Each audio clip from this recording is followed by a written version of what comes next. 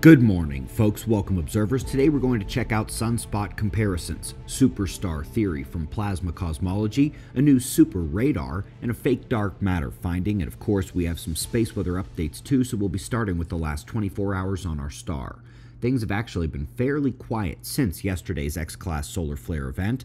The coronal hole, plasma filaments, and sunspots keep turning, but eruptive activity was mostly absent the last day. However, there is an update on yesterday's blast. If you recall, while the position of the eruption sent the plasma mostly up and away from the Earth, it was a wide burst CME, and on the coronagraphs yesterday, we said we saw a faint signature leaving the central region, bottom right, for a barely halo eruption. NOAA has updated their Enlil spiral, and while indeed most is going to miss the Earth, there is a tiny component that joins with the coronal hole solar wind to arrive tomorrow or Thursday. Up to level 2 geomagnetic storms are in the forecast. Not scary, but very relevant for aurora watching. Those sunspots are still turning into face Earth today and will be primary eruption threats for about a week.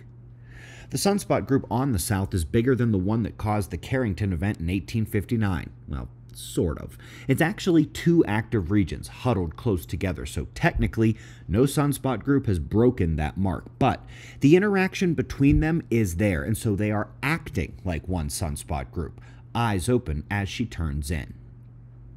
Folks, this is cool. For those veteran observers who remember our cosmology days or who have seen Robitaille or Crothers on the problems with black hole science, we have long said what was actually at the center of galaxies was a new form of superstar, not a black hole. Well, this new study has taken them so dangerously close to that. They still want their traditional black hole embedded somewhere in the center, but now it's hidden inside that exact superstar. Yeah, they're going to be at plasma cosmology by 2030 at this rate. And folks, this is pretty cool. The eye candy is from Greece, new super radar for high detail mapping, and it is showing off in the Athens area downtown here. That's cool.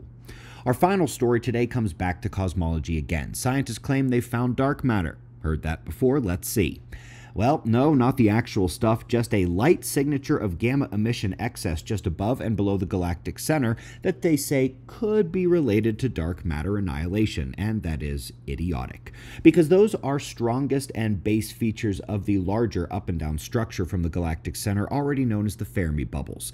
These are huge, lobed, stretching north and south structures of the galactic center, largely shining in X rays, but with a gamma component base as well.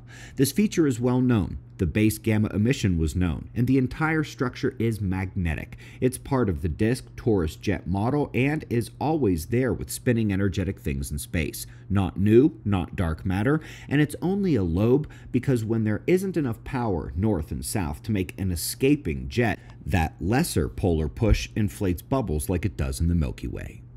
Folks, goldobservers.com has extended their 10% price match to silver and gold with qualified purchases. A permanent store of value when you get the physical metal in your hand, barter priceless in a decline and descent, and eternally valuable for not just worth but usage in pre societal technology and medicine.